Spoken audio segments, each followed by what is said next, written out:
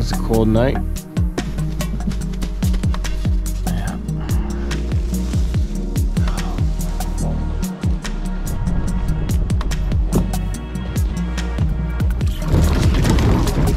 So that kind of sucked.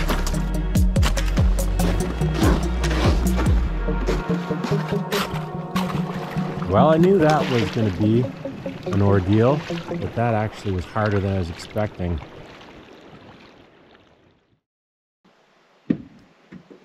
Well, it's that time of year. The leaves are gone, the days are short, and the snow is starting to fall, and it's not going away. But I'm not ready to hang up my paddling gear. I've got time for one more backcountry trip. So I'm heading into Algonquin Park, and I'm not expecting to see anyone in there. It's below freezing, and there's unsettled weather patterns. But the call of the outdoors is strong, and I've never been one to ignore it. Well, things don't always go as planned, and today is a perfect example of that. Uh, I decided, even though winter is well on its way right now, we got some snow that's probably here to stay. It's uh, mid November. I wanted to do a two day, an overnight camping trip in Algonquin Park, one of my favorite places. And uh, I was going to explore a new lake, Opeongo, which is the biggest lake in the park, go on a good sea kayaking mission. Well, it showed up. I didn't do my homework, and yeah, there's the gates closed. Couldn't get in there. So, change of plan. I'm on a different lake that I've never been to before, and it's a beautiful day, so it should be equally as awesome. Got everything? Good. All right. Oh, yeah, it's brisk.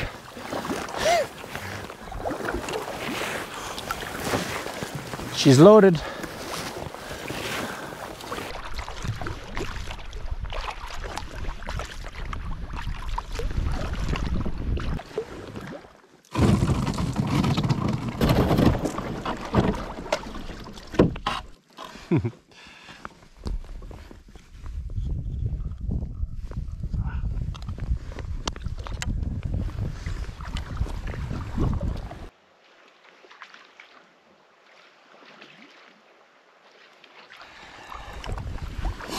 You know, my plans changed. And with that, there are going to be some challenges today. One challenge in particular, the trip I had planned was just sea kayaking on the biggest lake in the park, which is about, you know, I was going to cover about 10 miles, pretty close to 10 miles, um, to get to the island I was going to stay at tonight, camp at. But uh, since that wasn't possible, because the gate was closed, this other route that I'm having to take, it involves a, a portage.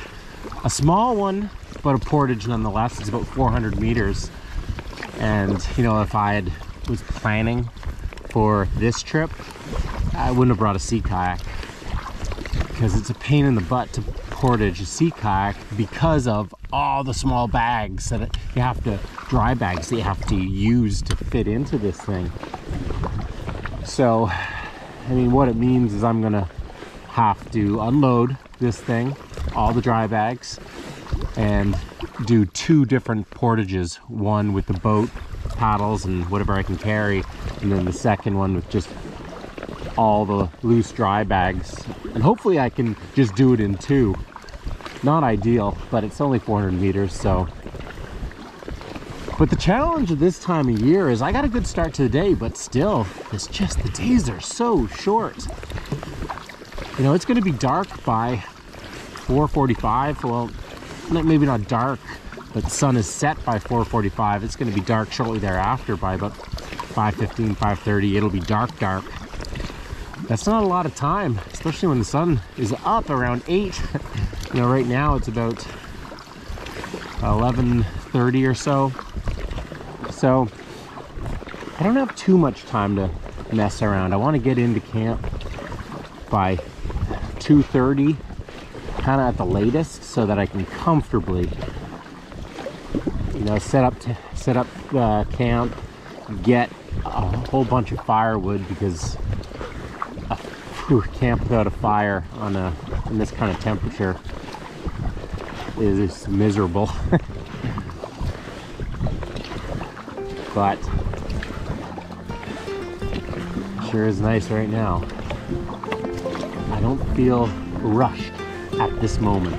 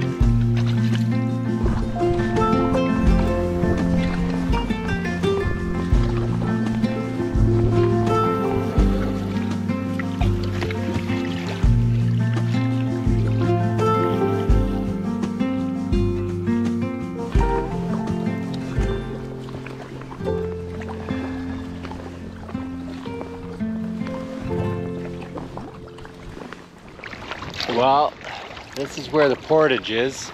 I was kind of hoping I'd be able to paddle through whatever was creating the portage, but I didn't even know which way the water was running because there's been no current, but it's, this is, uh, I'm downstream. I'd have to paddle up the rapid. I'd like to think that would happen, but I'm gonna take a look. Crazy not to.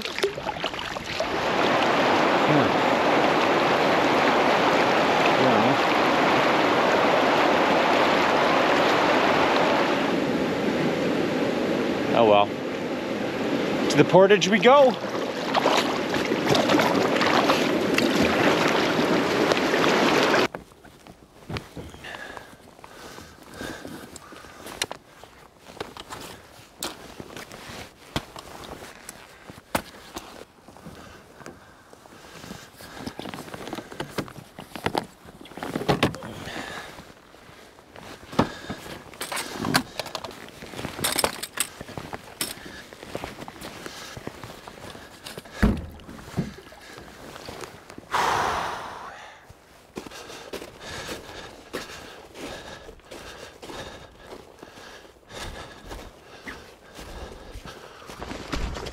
Oh, up we go.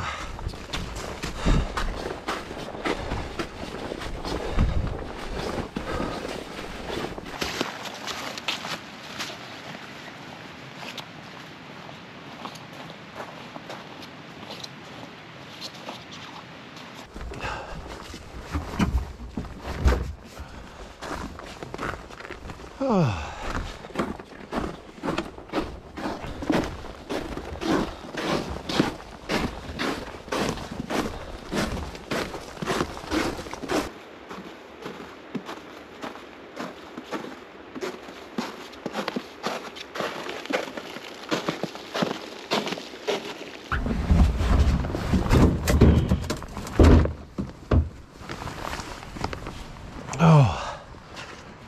heck yeah.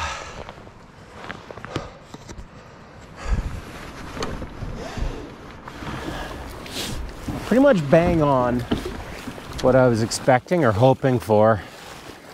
It's 2.15. I should be able to find a camp spot by 2.30 and then have about two hours before it gets dark. Two hours to get things together, get some firewood, get a nice cozy fire going. Because it's going to get cold tonight. It's definitely going to get cold.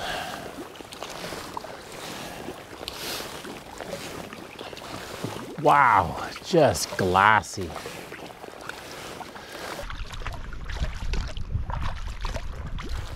Ooh, that looks like a nice spot.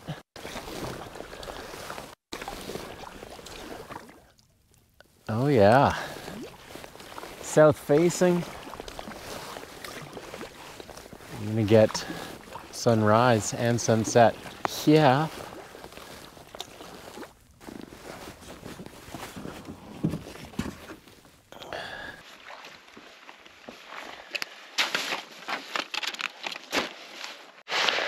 Well, first things first, it's a beautiful campsite, but uh, for that reason, it's pretty popular. And so there's no firewood to be found within easy walking distance here.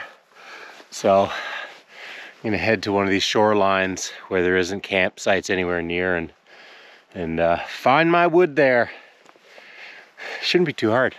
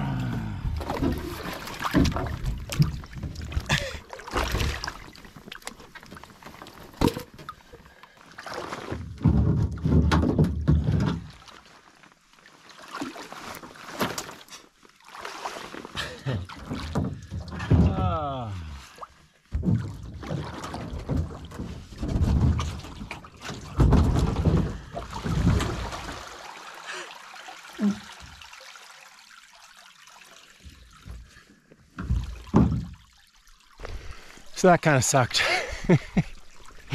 I was just stupid. I don't even know what happened. I haven't tipped my boat. There was just so much weight with that wood. but I got my wood.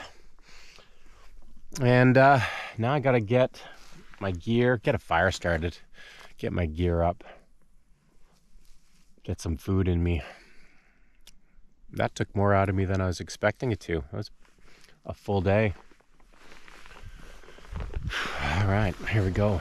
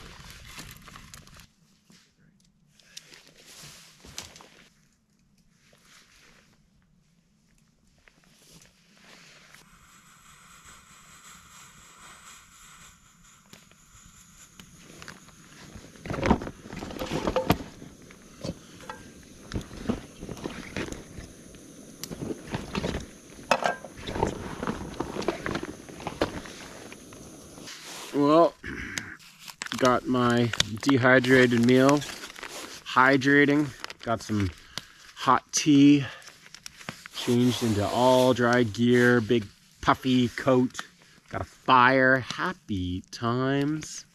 Still so quiet out here too. Another lesson learned. It's been a few lessons on this trip, but that I couldn't believe how long it took me to get firewood. You know, it was almost a two hour mission to get firewood because this these lakes are obviously hit pretty hard. They're heavily trafficked through the summer. Winter camping, the days are just so short. You don't have much time. And you you know, I didn't want to be any later getting a fire going than I was today. but that's the lesson learned is either give myself more time next time or choose a lake that has less traffic in the summer months so it's going to be easier to find firewood. But got fire. All is good now. Hmm, hmm, hmm, the moment of truth.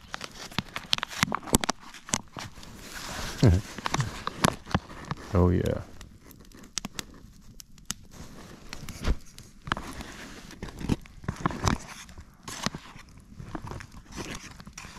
Maybe a little too much water, but that's okay.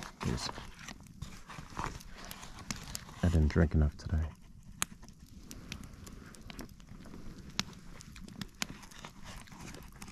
Oh yeah.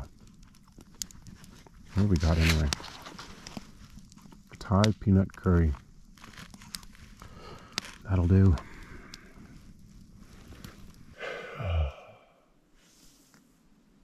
Well, bedtime.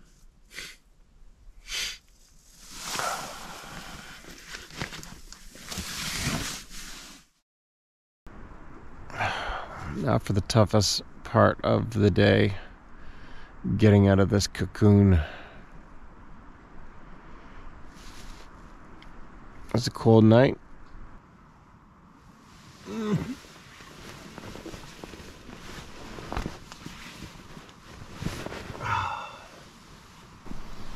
like I got some snow.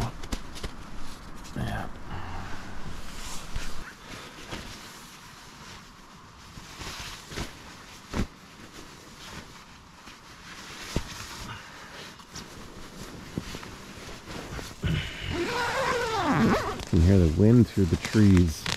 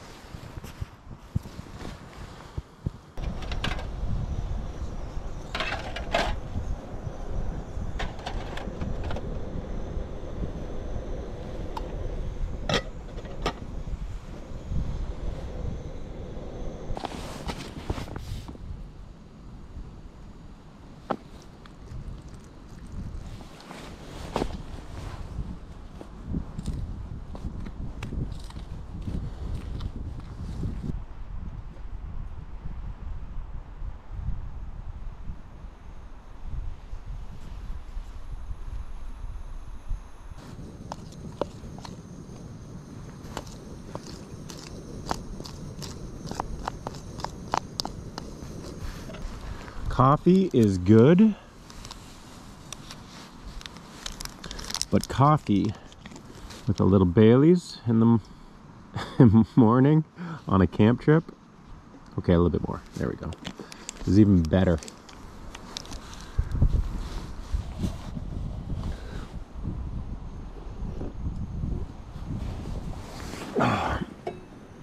Now I just wait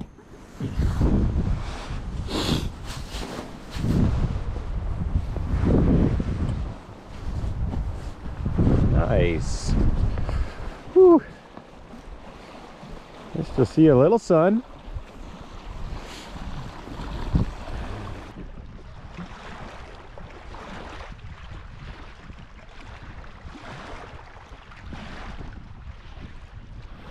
I don't have the wood for a fire this morning, but hot cup of coffee, a hot breakfast on the way, even a cold windy morning like this is pretty darn good especially since the sun came out. I don't think it's gonna be out for long but pretty nice to have for a bit.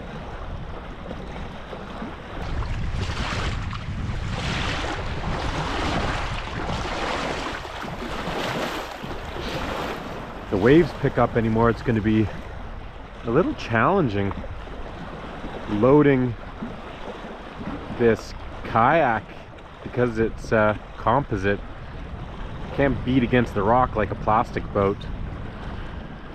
And you can't load it on ground and drag it to the water so I'll have to figure that out. I might have to carry this boat around to a sheltered side because the waves are coming right in here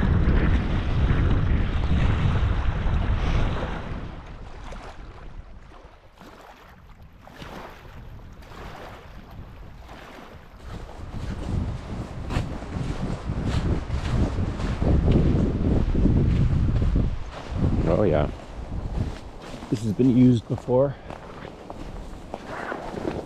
Oh yeah. What a difference. Yeah. Not on rock either. This is this is where I'll launch.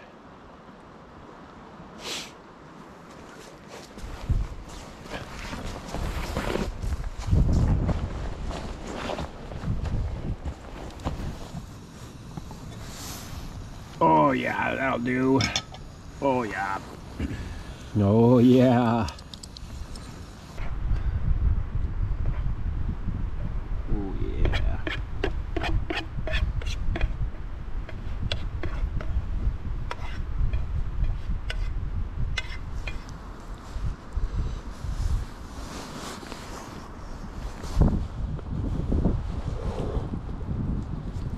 You know, this is a kind of trip you don't just jump into. You need to, uh, you know, really have experience in the backcountry and be comfortable in the cold. Have the gear, gear, gear, gear, and backup gear. You know, I've, there's been a, a lot of winter camping experiences and learnings that have come over the years. One year I learned that you couldn't bring the same food on a winter camping trip because you uh, it'll freeze if it's cold enough and then you're kind of screwed.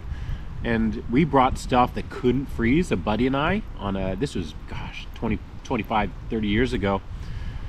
We didn't know what to do and so we keep it thaw we ended up stuffing our uh, sleeping bag with all the food that couldn't freeze. So basically we, we made ourselves into one big bear burrito it was a sleepless night in Algonquin Park.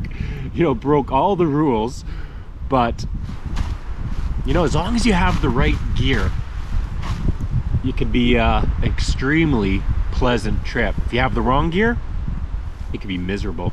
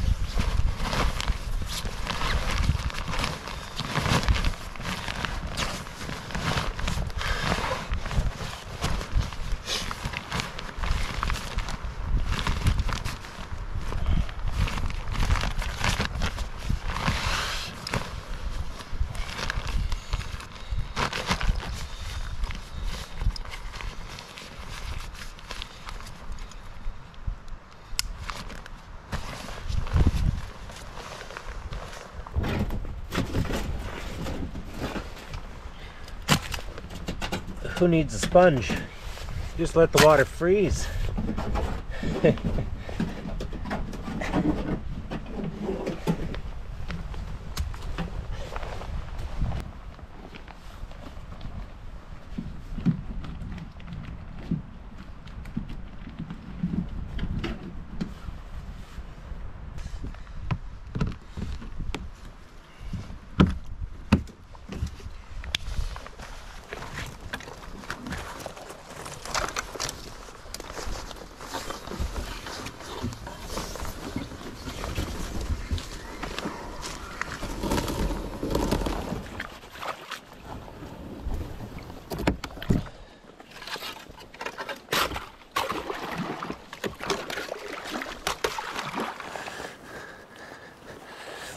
It's a little chillier today, so we're going with the pogies.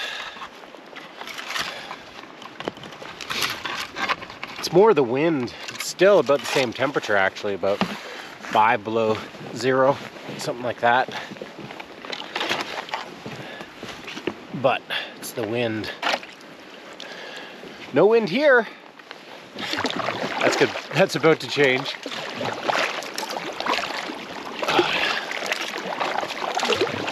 Oh, and off we go again.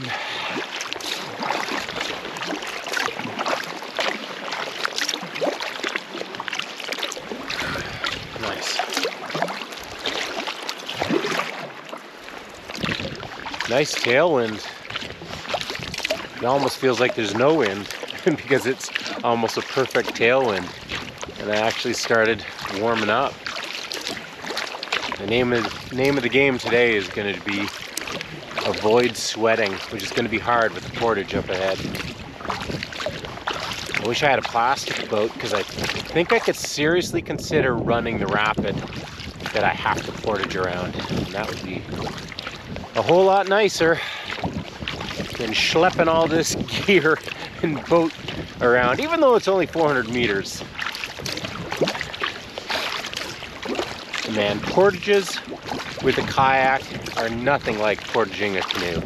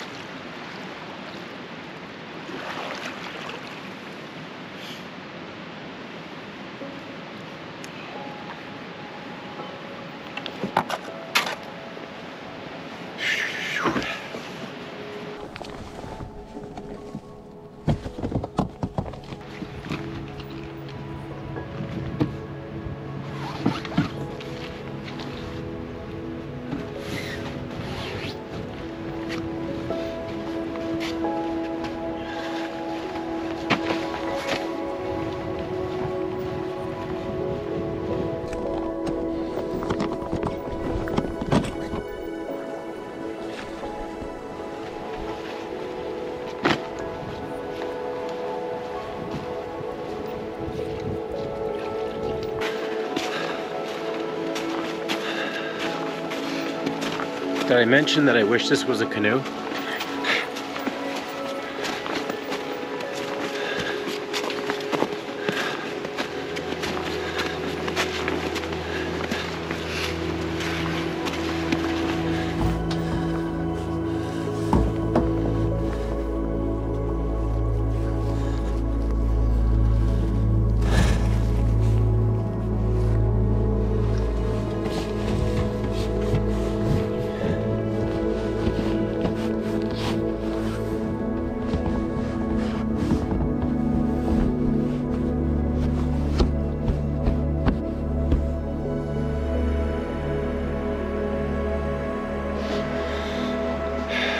Well, I only have about four or five kilometers, three miles maybe, of a paddle to get back to my truck and head home. With the ice building on the lakes, this is probably going to be my last overnight of the season. But hopefully there'll be some paddling. The, uh, the whitewater stays open for a fair bit longer. Really nice way to end the season. Beautiful day yesterday. How perfect was that? And then, you know what? A little bit of snow, a little bit of weather. It just changed the mood. Not a bad thing either. It's kind of sad to see the paddling season come to an end though. But the next one is not that far away. And now I start planning my trips for next year.